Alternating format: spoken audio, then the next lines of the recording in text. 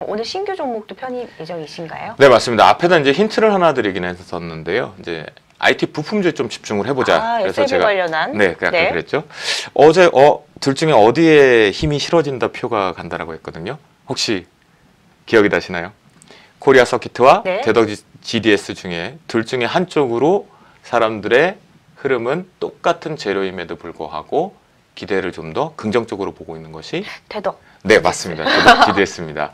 그래서 이제 대덕 GDS를 신규 편입을 이제 시도를 하려고 하는데요. 역시나 시장이 좀 위축되어 있기 때문에 네. 앞에 말씀드렸던 SLP 스마트폰 메인 기판입니다. 이게 이제 고부가 제 반도체 쪽으로 초정밀로 있다 보니까 좀 더 압축되어 있고 밀착되어 있고 좀더 음, 타이트하게 되어 있는 부분에서 고마진이다라는 부분이 S9과 S9 노트 부분 이후에 추가적으로 10에도 확정돼서 들어갔다라는 부분이겠고요. 어제 뉴스에 파라라가 걸렸기 때문에 이렇게 좀 떨어지고 있는데요.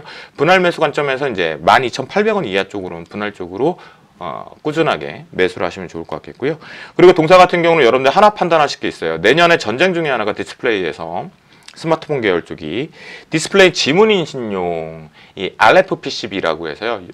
유기농 부분에 아 유기농이래 유기능 부분에서 상당히 능력적인 부분이 빠르게 변동되는 음, 부분에 FPCB가 있는데요. 이분의 공급이 좀 대덕 GDS의 기술력 원천 가지고 아, 기대가 좀 되기 때문에 신기적으로 바닥권에서 탈피하는 부분 재료가 언급되었고 공급 부분이 확정이 되었기 때문에 들어가 보도록 하겠습니다. 그래서 단기적인 목표가는 15,100원을 좀 설정을 해보도록 하겠고요. 그리고 손절가 같은 경우는 직전 저점보다 조금 더 낮은 1,750원을 아, 제시해 보도록 하겠습니다. 네, 오늘의 신규 편입 종목 대덕 GDS입니다. SLP 기판 관련 종목이고요. 목표가는 15,100원, 손절가 1,750원 제시해 주셨습니다.